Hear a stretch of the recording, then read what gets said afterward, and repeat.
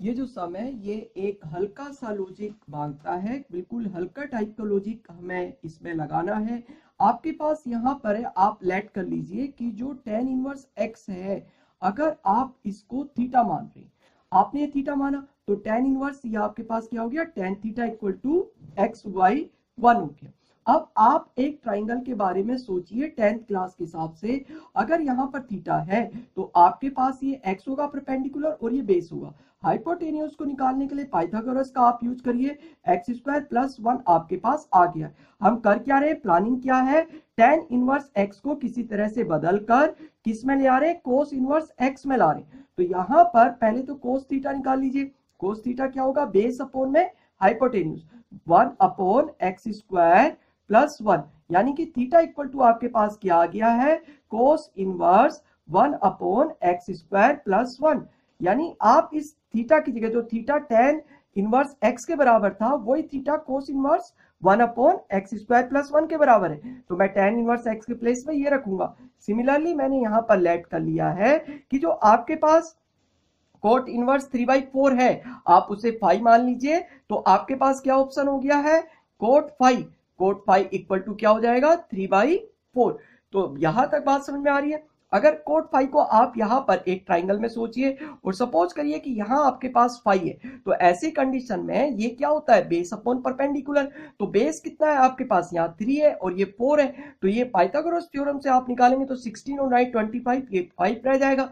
तो आपके पास हमें निकालना क्या है? साइन की फॉर्म पे से चेंज करना है। तो ये हो जाएगा sine five equal to four upon five.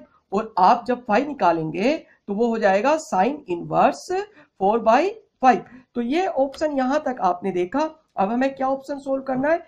हमको सोल्व करना है इन वैल्यूज़ को पुट करके। तो देखिए, नाउ तो अब वैल्यूज़ रख लीजिए। आपके पास यहाँ कोस है और टेन इनवर्स के एक्स में आप क्या लिख सकते हैं?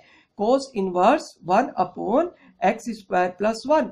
Similarly और यहाँ पर आप क्या रख सकते हैं? साइन और कोट के प्लेस में sine inverse four by five. तो ये आपके पास क्या रह गया है? One upon x square plus one. और यहाँ पर फोर बाई फाइव। आप क्या करेंगे? Squaring both side. तो दोनों साइड का आप यहाँ पर स्क्वायरिंग करेंगे। तो आपके पास क्या रह जाएगा? One upon x square plus one. और यहाँ पर equal to four upon five that is जो कि क्या हो जाएगा आपके पास?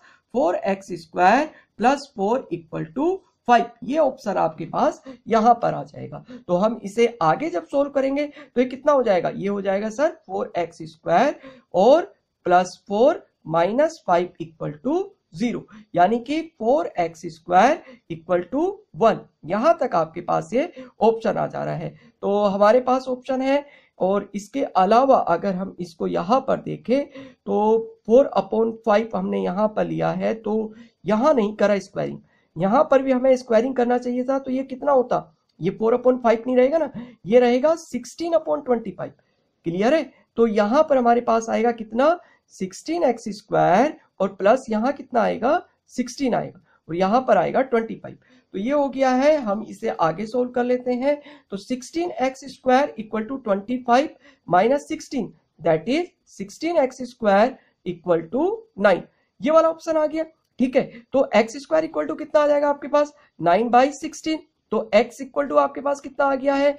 x आ गया square root nine by sixteen और ये क्या ऑप्शन रहेगा आपके पास?